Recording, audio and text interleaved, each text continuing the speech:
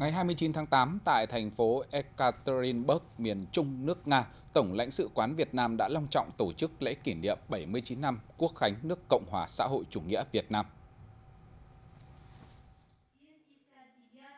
Tổng lãnh sự Việt Nam tại Ekaterinburg Nguyễn Mai Hường khẳng định quan hệ Việt Nam Liên bang Nga có bề dày lịch sử, được nhiều thế hệ lãnh đạo và nhân dân hai nước dày công vun đắp. Kể từ khi thành lập vào tháng 9 năm 2007, Tổng lãnh sự quán Việt Nam tại Ekaterinburg luôn nhận được sự hỗ trợ của chính quyền địa phương và sự ủng hộ giúp đỡ nhiệt tình, quý báu của bà con cộng đồng người Việt. Thay mặt Bộ Ngoại giao Nga, ông Alexander Kalov chúc mừng nhân dân Việt Nam nhân ngày lễ lớn, chúc dân tộc đất nước Việt Nam phồn vinh, chúc quan hệ Việt Nam Liên bang Nga phát triển tốt đẹp. Việt Nam tiếp tục là đối tác tin cậy của Nga tại châu Á.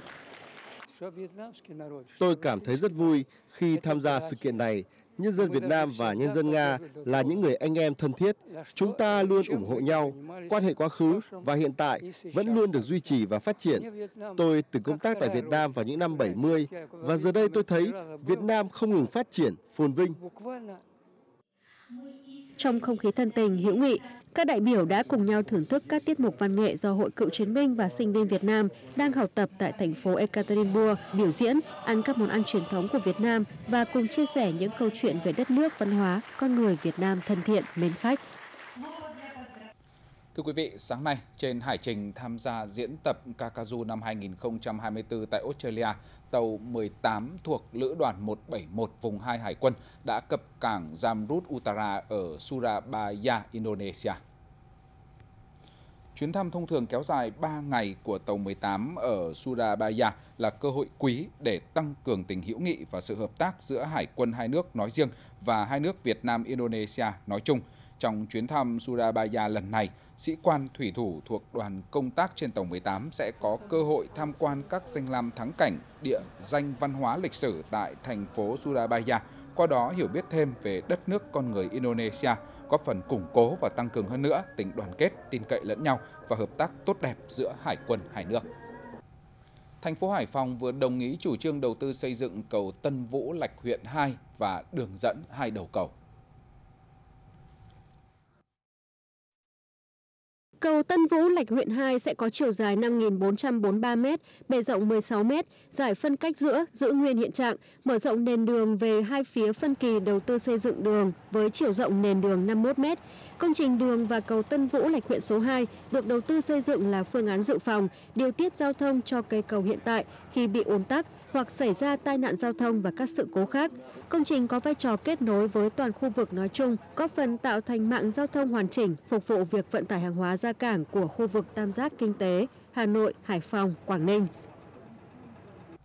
Để tổng kết chặng đường 30 năm xây dựng và phát triển cũng như định hướng về mục tiêu thời gian tới, bảo đảm nguồn cung nông sản thực phẩm chất lượng, an toàn cho tiêu dùng trong nước và mở rộng thị trường xuất khẩu. Sáng nay, Bộ Nông nghiệp và Phát triển Nông thôn đã tổ chức lễ kỷ niệm 30 năm hành trình chất lượng nông lâm thủy sản tại Hà Nội.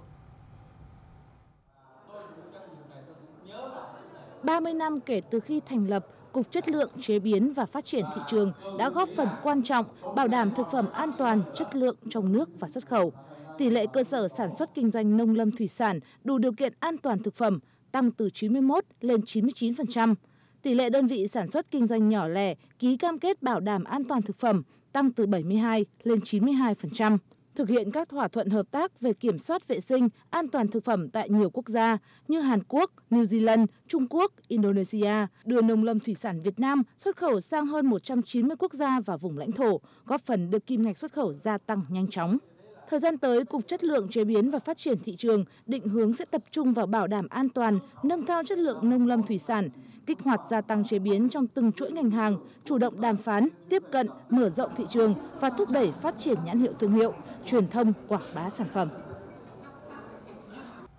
Sáng nay, Ủy ban nhân dân thành phố Đà Nẵng đã tổ chức ngày vi mạch bán dẫn Đà Nẵng năm 2024. Chương trình có sự tham gia của hơn 300 đại biểu là các chuyên gia, doanh nghiệp, nhà đầu tư, nhà quản lý đến từ trong và ngoài nước.